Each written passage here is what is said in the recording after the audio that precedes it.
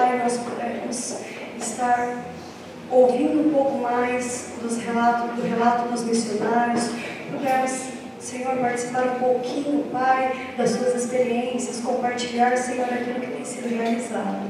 Mas que nós não nos esqueçamos, Pai, que missões acontecem no ano todo, que durante todo o ano eles precisam das nossas orações, das nossas ofertas, do nosso apoio.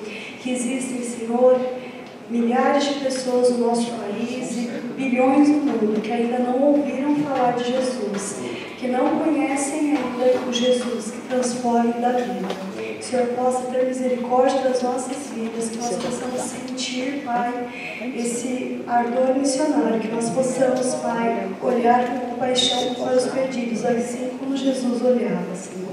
O Senhor possa ter misericórdia das nossas vidas, Pai. Obrigada por esse momento de culto.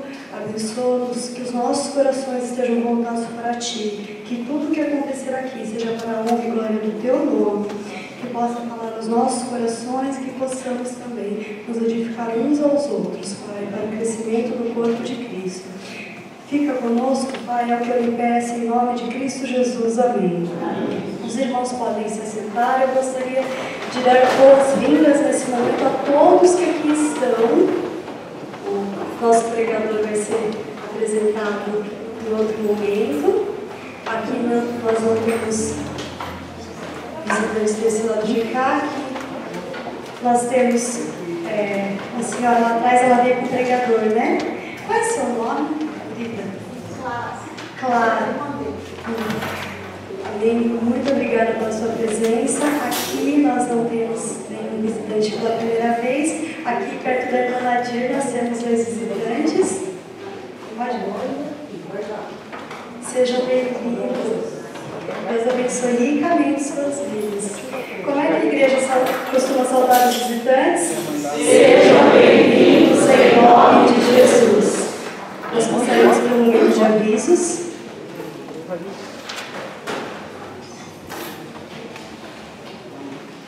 Graças paz, irmãos.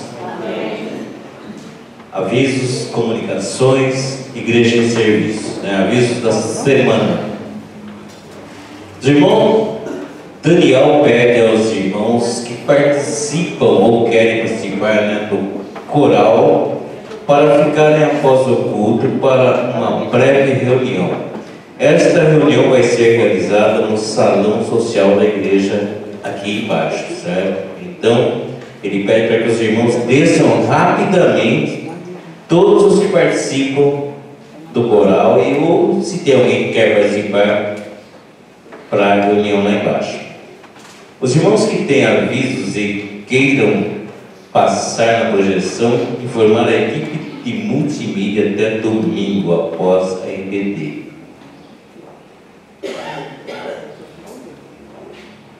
Ação social, né? Os irmãos que desejam colaborar com a ação social trazendo gêneros alimentícios não perecíveis, né? Procurem as irmãs Cidália, Carmen e Catarina. E o terceiro domingo é o dia em que se dá ênfase a esta campanha né, da ação social. Então, aos terceiros domingos, os irmãos tragam alimentos, né, arroz, feijão. Hoje, né, terceiro domingo, tá bom? ser menor ainda. Programa Vejam Só. Pastor, quer falar desse programa? É, amanhã nós vamos estar, é, o programa será exibido às 23 horas e 35 minutos pela RIT TV. Se você é, não consegue acessar a RIT na sua TV, entra no site www.vejamsó.com.br e clica lá assistir. A partir é, é 23h35. O debate é, o tema é esse. Ah, o cristão precisa da psicologia para resolver os problemas da alma ou a Bíblia é suficiente? Então amanhã é, já gravamos o programa na sexta-feira. Eu com a doutora Verusca, lá na primeira de São Paulo, que é psicóloga, e os irmãos assistem. Ok? Ele falou, e ele falou que o João vai aparecer também, né, por dois segundos, tá? Então vocês vão ver o pastor e o João lá. Culto nos lares. Vai ser na segunda-feira? Segunda-feira, às 19h30. No Ouro Então, vai sair daqui da igreja? Sim, a partir das sete. A partir das sete, se deve ter alguém aqui, então, se algum irmão ou irmã quiser ir, venha até aqui, às sete horas, né? Reunião de oração, terça-feira, às 8 horas. Temos sentido falta de muitos irmãos e irmãs aqui. Venham orar conosco, certo? Curso de artesanato, quarta-feira, às 14h30, né? Um programa das senhoras, das mulheres. Quinta-feira, culto de oração e estudo bíblico, às 19h30. Também temos sentido falta de muitos irmãos aqui na igreja. Então, se você pode, deve estar aqui conosco. Sábado, projeto esportivo, às 9 horas, na Escola Narciso Iago Guimarães. Projeto né, com as crianças. Vigília de oração, dia 21 do 10, a partir das 21 horas, 9 horas da noite. Já foi passado aí né, para os, todos os líderes, então venha orar conosco nesta vigília. EBD, Escola Bíblica Dominical, todo domingo às 9 horas. Culto de celebração às 6 horas. Avisos mensais. Congresso Multiplique, Igreja Batista em Vila Sintra, dia 21 do 10, a partir das 8h30 horas. Né? O pastor já deu este aviso de manhã, né? Para a liderança. Então, se você puder, vá até lá. Vai ter oficinas, né, pastor? Estudo da revista será dia 20 e 29, é isso? Às 17 horas, tema adoração, missão e finanças. Toda a igreja está convidada a participar. Eu tenho mais um aviso aqui que a MCA está MCM, é Mulher Cristã Missionária, né? Elas estão avisando aqui que no próximo domingo estará na parte da manhã sendo vendido ali embaixo bolo, torta, pudim, é, salgado e doce. E eu acho que é para colaborar com uma família missionária, é isso?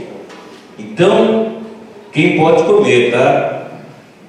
Tem doce que vira salgado aí, então, mas compre, compre e presenteie alguém, né? se não pode comer, né? Mas no próximo domingo, na parte da manhã, então tem torta, pudim, e elas fazem coisas gostosas. Então procure na, na, ali embaixo, né? Estará sendo vendido e é para ofertar para o casal missionário, tá bom? Obrigado. Nesse momento nós vamos cantar o hino de número 114.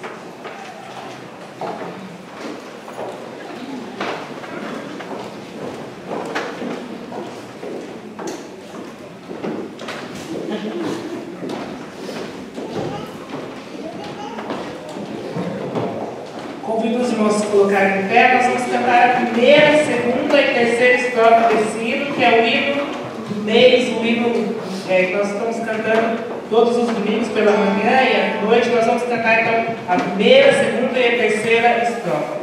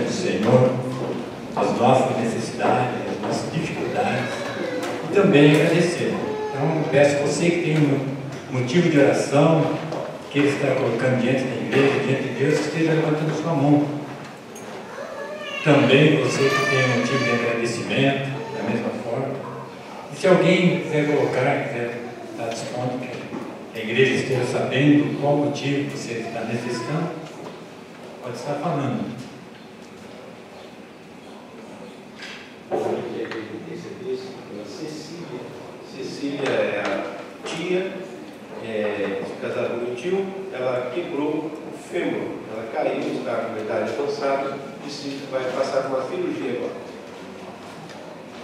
Pastor Bélio pela é tia, né, Cecília? Mais alguém?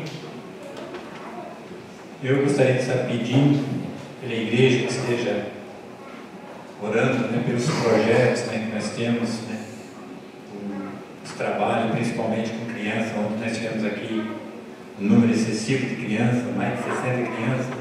Crianças carentes, crianças que precisam ouvir a palavra do Senhor, que também precisam de carinho. Muitos deles não têm um abraço, não têm um, um agrado, né? Muitos deles têm dificuldades, né? têm falta de recursos financeiros. Então que a igreja esteja orando, esteja intercedendo pelos meninos aqui do projeto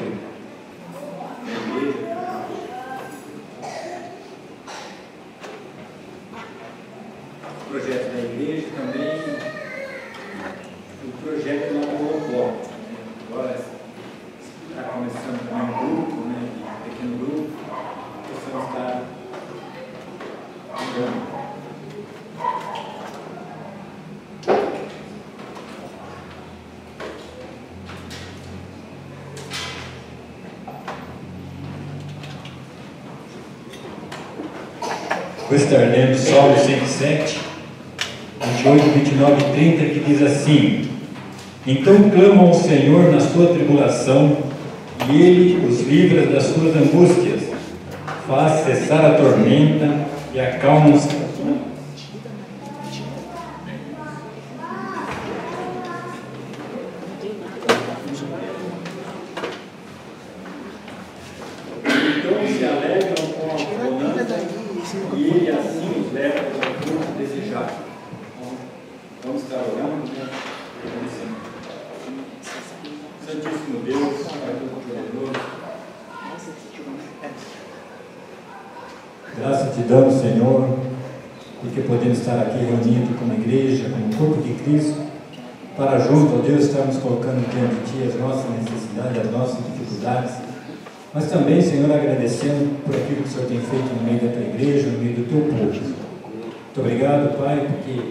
Senhor tem nos conduzido, ó Pai, a trabalhar, a levar a palavra àqueles que ainda não te conhecem, Senhor. E que o Senhor possa estar cada dia mais dando-nos força, dando-nos coragem, Pai, para estar trabalhando, estar intercedendo, Deus, por esses que têm necessidade. Muito obrigado, Senhor. Abençoe-nos durante este culto, Pai onde estaremos ouvindo a tua palavra, onde estaremos ouvindo o teu mensageiro, Deus, que estará trazendo aquilo que tem no teu coração, Pai, que o Senhor já o colocou, e que possamos sair daqui, ó Deus, revestido do teu Santo Espírito. Dê-nos uma semana de paz na tua presença, e que tudo que façamos, ó Deus, seja para a honra e glória do teu nome. E é no nome santo e amado de Jesus que eu oro e agradeço por tudo. Amém. Amém.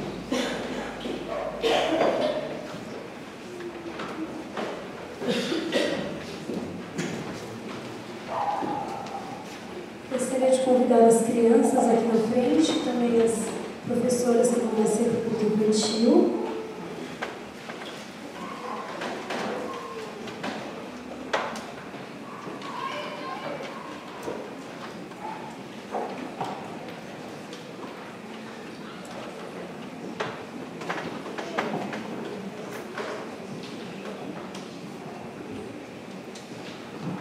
Oremos. Senhor, nosso Deus, nosso Pai, nós agradecemos a Ti, Senhor, pela vida desses pequenos, Pai, que nesse momento vão estar reunidos ali embaixo para ter o culto na linguagem deles, Senhor. Que Senhor continue abençoando, Pai, que a palavra, Senhor, que vem sendo plantada nesses corações, Senhor, possa dar muito fruto, Senhor. Essas crianças sempre se lembrem do que aprenderam e nunca venham se desviar dos seus caminhos. Capacita cada vez mais, Senhor, a vida das professoras que têm trabalhado com eles, todos que têm apoiado e ajudado esse ministério, Senhor. Obrigada, Senhor, porque o Senhor tem agido, Senhor, nesse ministério aqui nessa igreja e que ele continue, Senhor, sendo abençoado pelo Senhor. É no nome santo de Cristo Jesus que eu oro e agradeço. Amém. Convido os irmãos a se colocarem em pé, nós vamos fazer a leitura bíblica do livro de Ezequiel, capítulo 37, versículos de 1 ao 14. Livro de Ezequiel, capítulo 37, versículos de 1 ao 14. Nós faremos a leitura responsiva.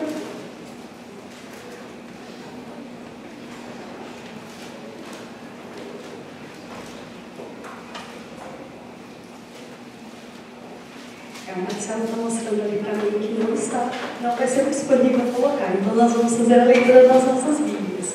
Então, Ezequiel, capítulo 37, versículo de 1 a 14. Esse texto tem por título A Visão de um Vale de Ossos Secos. Então vamos fazer a leitura responsiva. Ezequiel, capítulo 37, versículos de 1 a 14. Veio sobre mim a mão do Senhor ele me levou pelo Espírito do Senhor e me deixou no meio de um vale que estava cheio de ossos. E me fez andar ao redor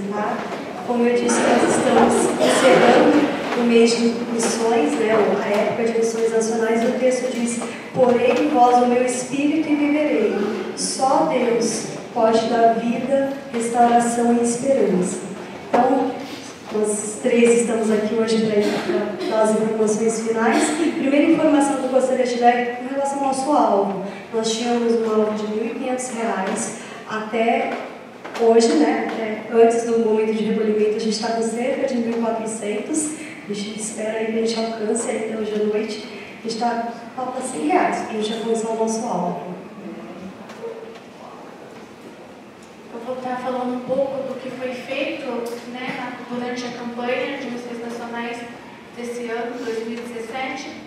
É, foram é, alguns domingos aqui apresentando os homens, as mulheres, as crianças, os jovens e os adolescentes. Falamos sobre a importância de evangelizar na Amazônia. Falamos sobre capelania prisional, que foi é, uma forma de estar evangelizando as mulheres no- no- nos presídios. Sobre a Cristolândia, é, sobre o sertão e o Ministério com os Surdos também foi enfatizado aqui.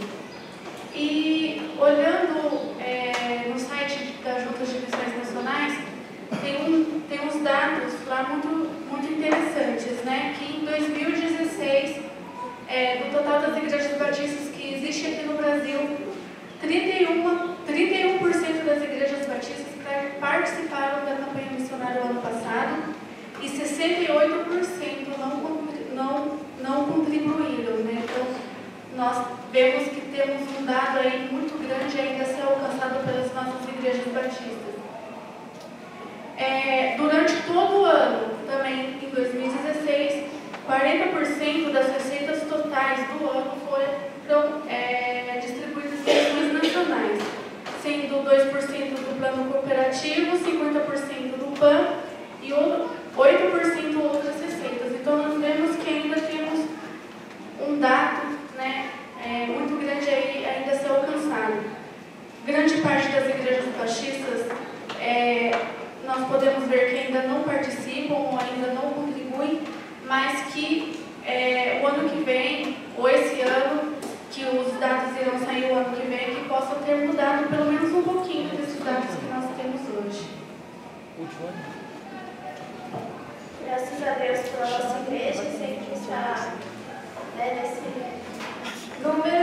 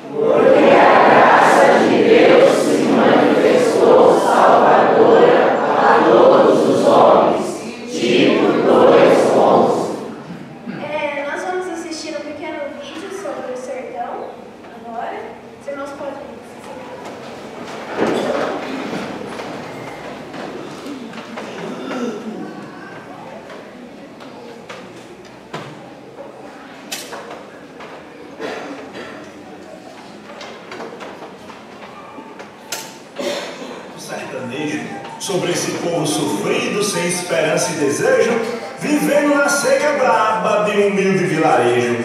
Povo que trabalha duro e mesmo nessa condição, não abandona a fé em Deus. Esse é o povo do sertão, povo invocado, cabra bom, a quem Deus estende a mão e envia para essa terra onde o sol queima a moleira, caminhando em terra batida, adentrando as porteiras, missionários corajosos, sem um pingo de besteira, que levam o amor de Deus e apresentam pelo sertão Jesus Cristo crucificado e a sua ressurreição, o Jesus Cristo vivo que nos deu a salvação. Há mais de 100 anos o Evangelho é multiplicado pela Junta de Missões Nacionais, um povo muito arretado que invade o sertão brasileiro e muita gente tem alcançado.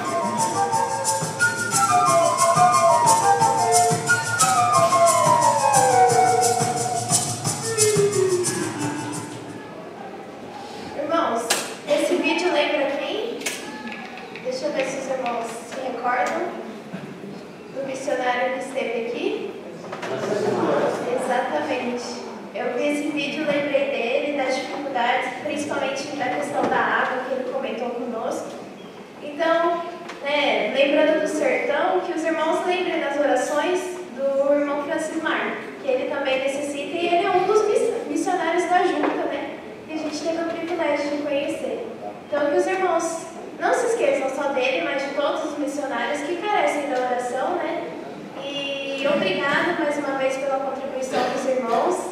Obrigado pelo apoio, né? Nós aqui, a equipe da Irmãos Terino que nos coordena, agradecemos de coração, né? Porque sem vocês nada é possível.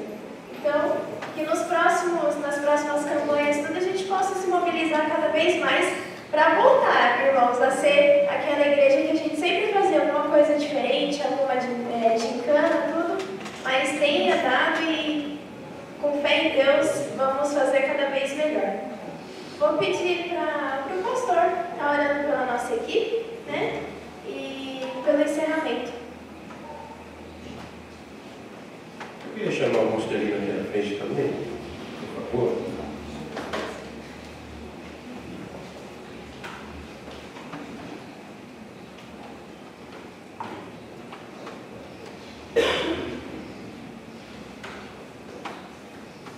Mostelino.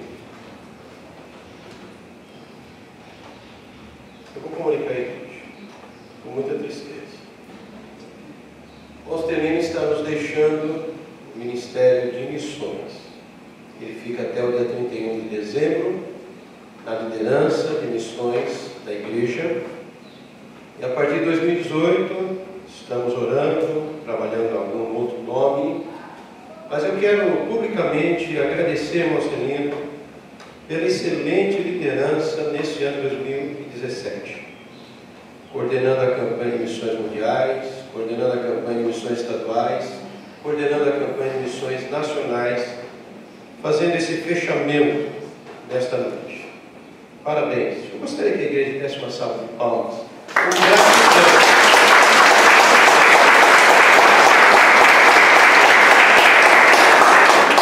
Gratidão. a Deus pela sua vida, pela sua família, pelo envolvimento. Ocelino é um homem muito ocupado, mas ele, o tempo que ele tem disponível, ele dedicou a esse ministério com excelência. Deus te recompense, irmão, por tudo que o irmão fez e vai continuar fazendo, assessorando o novo líder, dando suporte, e nós louvamos a Deus pela sua vida. Vamos orar. Oi? Uhum. Amém. Agradecemos toda a equipe. Né? Já parabenizei aqui e louvamos a Deus por toda a equipe do Ministério de Missões.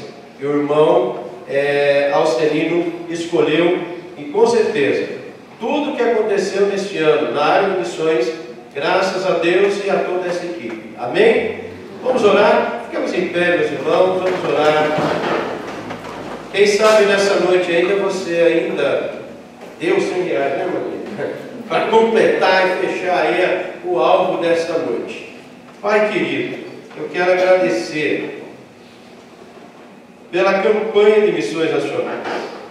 Muito obrigado por todos os irmãos que participaram direto e indiretamente para alcançarmos este valor e com certeza poderemos ultrapassar até o final deste culto, ó Pai. Pai, muito obrigado pela vida do teu servo, irmão Ostelino, que liderou o ministério de missões desta igreja e continuará até o dia 31 de dezembro. Mas queremos publicamente ser grato a Deus pela vida dele pela equipe que ele formou, trabalhando, ó Pai, com toda alegria, com todo entusiasmo. Agradeço pela vida da Miriam, a vida da irmã Crislaina, a vida da irmã Bruna e todos que trabalharam direto e indiretamente junto com o irmão Austelino, ó Pai.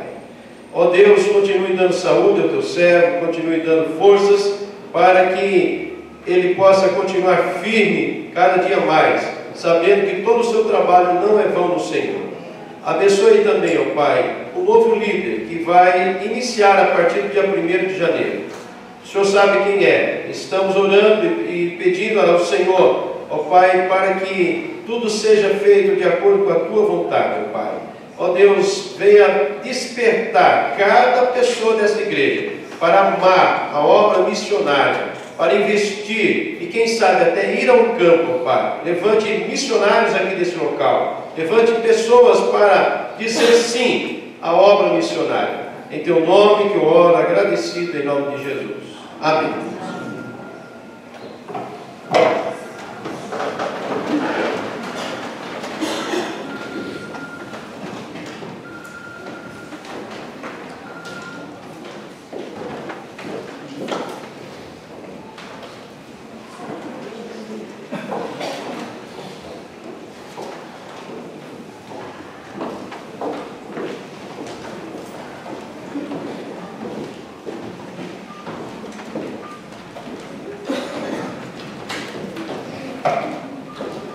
Convido os irmãos a se colocarem em pé. Nós vamos cantar o hino tema o antes e depois. Enquanto nós cantamos esse hino, os irmãos que vieram preparados com os dízimos e ofertas podem trazer neste instante.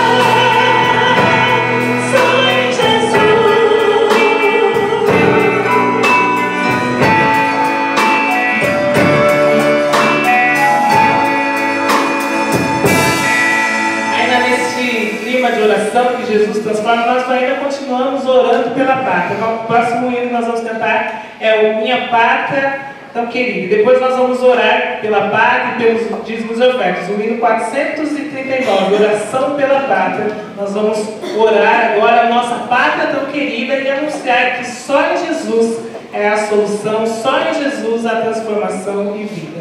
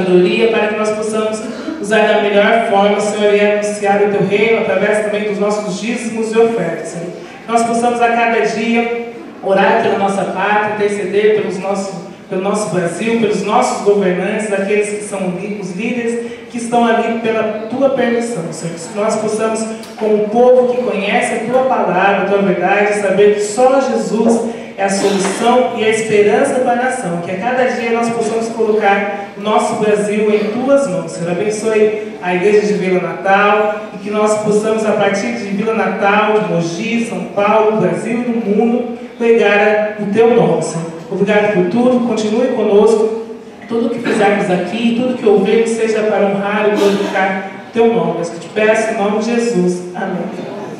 E a última música que nós vamos cantar diz que há esperança para o ferido, como árvore que foi cortada, largada ali no, no chão, ainda que na terra parece que não vai nascer nada, começa a brotar é, pelo cheiro das águas. Então, pelo cheiro das águas, Jesus, que é água viva, pode transformar pode fazer brotar, mesmo quando o tronco parece abandonado, sem vida, Jesus pode dar vida àquele, como nós vemos no texto, um vale de ossos secos, porque para ele nada é impossível.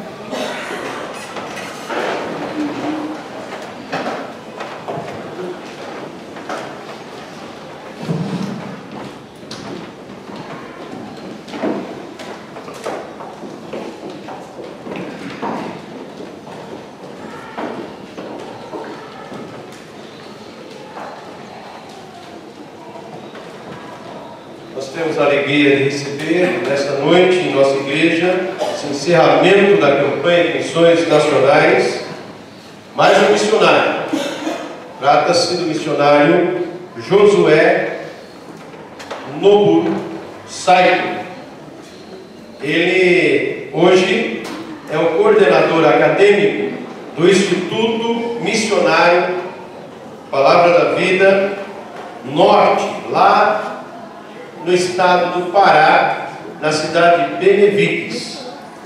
Pastor Noburo é o, um amigo de longa data. Hoje ele falou que nós nos conhecemos no ano 2000. Nos conhecemos e nunca mais nos vimos.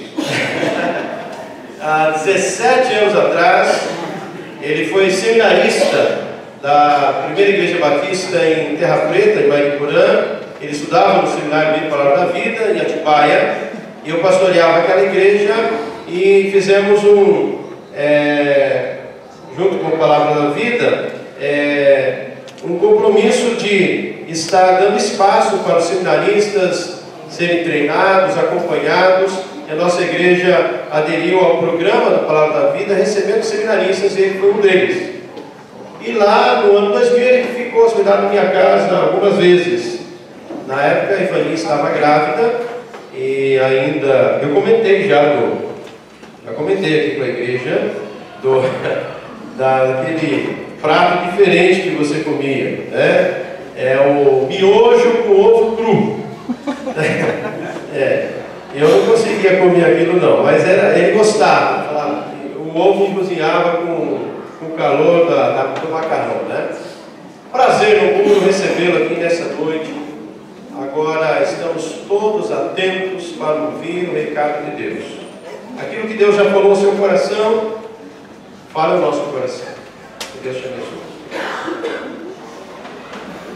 Uma alegria, é um prazer, uma honra poder estar aqui e poder compartilhar a palavra de Deus com a igreja, mais uma vez, né, na igreja do pastor Cleverson, há 17 anos atrás, no início da minha caminhada, então foi um privilégio poder ter também esse tempo conhecer esse casal. Hoje tenho a filha né, e ah, é muito bom poder ver como Deus tem conduzido esta família também e ter ah, a igreja né, abraçando o ministério também junto com esta família.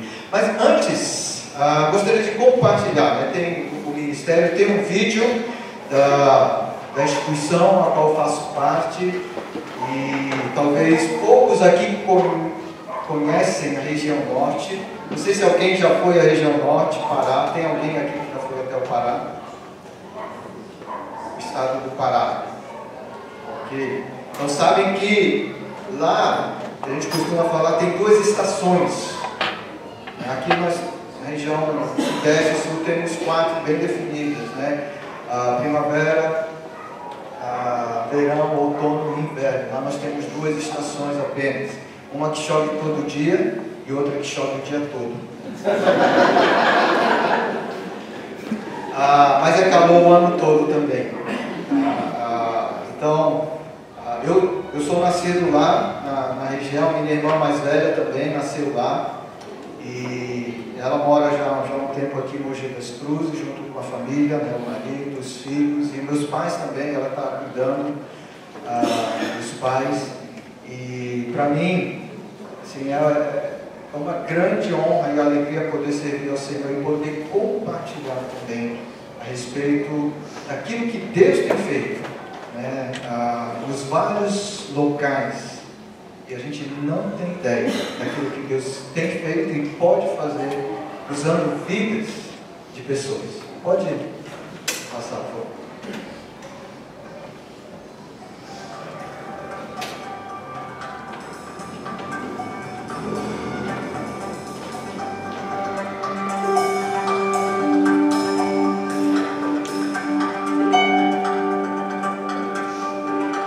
Visão do ITV é alcançar as populações menos evangelizadas e os povos não alcançados no Brasil e no mundo. Para isso, o nosso objetivo é preparar vidas para o cumprimento da grande comissão. Para isso, nós oferecemos um programa que tem três aspectos muito importantes. O primeiro deles é o estudo, biblioteca, aula, pesquisa, reflexão. O segundo é vida, a vida do aluno, o discipulado, o caráter, a maturidade cristã. Em terceiro lugar, o ministério. A cada semana, em alguma comunidade ribeirinha, alguma igreja, algum trabalho mais comunitário, vivendo na prática a vida missionária.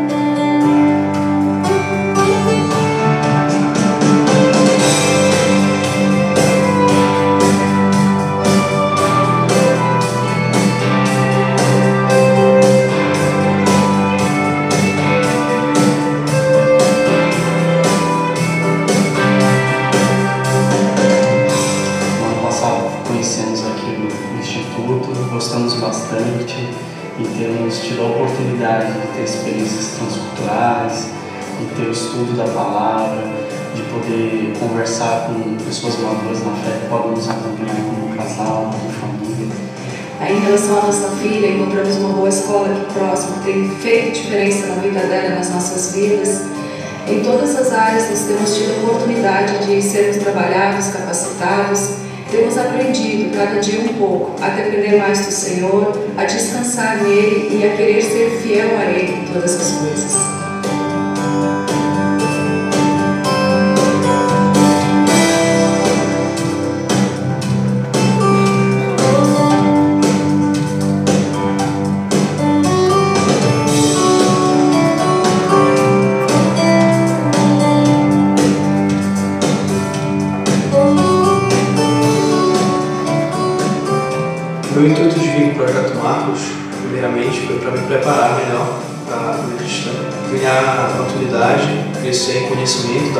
De Deus e me preparar melhor também para o contexto secular de faculdade, para poder servir melhor ao meu Deus com minha profissão e isso foi muito bom.